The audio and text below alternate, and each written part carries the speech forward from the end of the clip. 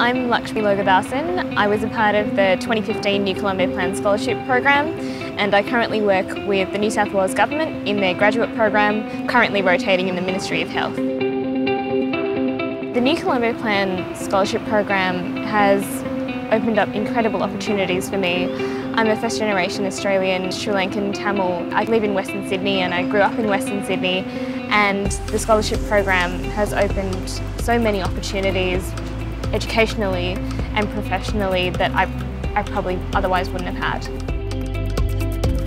Studying at the National University of Singapore and taking public policy subjects, sitting down with a classroom full of students across the region um, and discussing public policy issues has had a profound um, impact on my career trajectory and the way that I view how countries plan their future.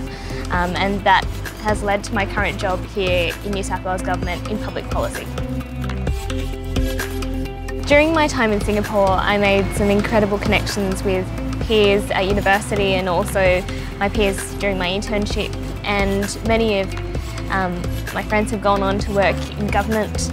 We have very strong passions about public policy and the shaping the future of our country and our region and I think that bodes incredibly well for Australia and also our region.